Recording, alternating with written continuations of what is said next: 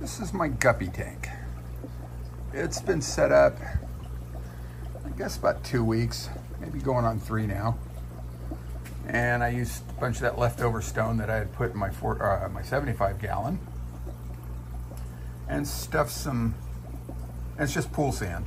Then I stuffed some uh, Java ferns in between the rocks and dropped in a couple Echinodorus back there. And I think that's a bolbitis fern and my, mom's hydrocotyle, and then some dwarf sagittaria.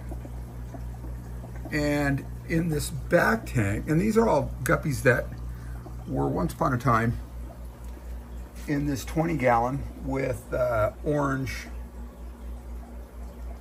what do they call them? Orange Sunkist shrimp. And there's still guppies in here. I wasn't able to get them all out. I eventually will. And I'll move them up here with these guys. And the tank behind this is the bettas and the cories, the baby bettas, well, they're juvenile now, and cories. And about a week, I guess about a week ago, I put uh, 13 Amano shrimp in there because I've got a black-beard algae problem in there. And I heard, read, saw somewhere that they work on black-beard algae, and I'm not seeing that, to be honest with you. Uh, they're nice shrimp, though. I got them from uh, Swimming Creatures. Um, from their Amazon store. They've also they're also on Instagram. Um, I think the deals are better on Amazon. So anyway, I got them there. And then I think it was the next day, two days, three days later, that Amano shrimp shows up in the tank with the guppies.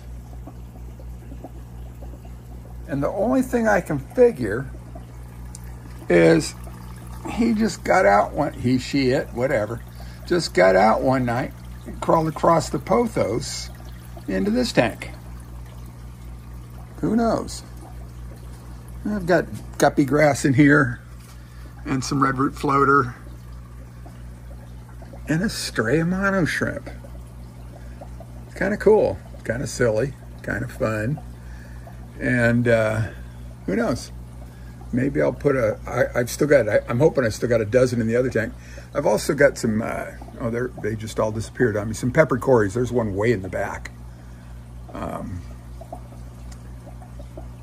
I think there's five peppered cories that came out of another tank that I'd taken apart.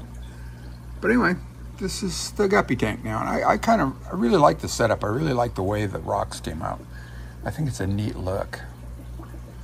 Let me know what you think.